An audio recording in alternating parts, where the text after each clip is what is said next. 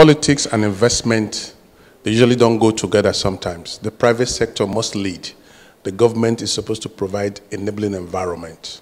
Now for ATOG, what they've done right now is to uh, continue to do the advocacy they are doing, which is good.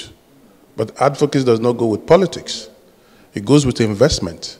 It goes with investment because they want to uh, allow Tanzanians to participate.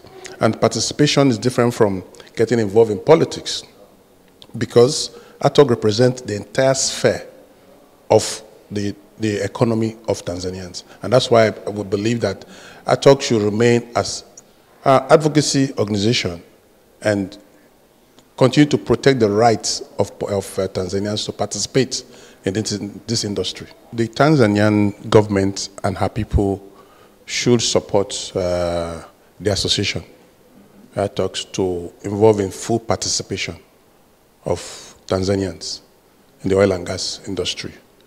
It's a nascent industry right now, but enough, a, um, a lot needs to be done for the association to encourage members.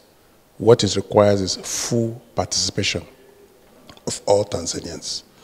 Um, the industry is wide and a lot of linkages attached to it. It involves all sectors of the economy.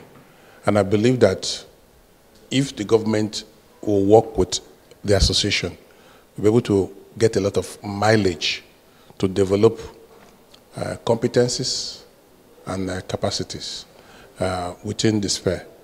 And don't forget, this industry is a, is, a, is a wide industry and investment has been made and it needs to be sustained.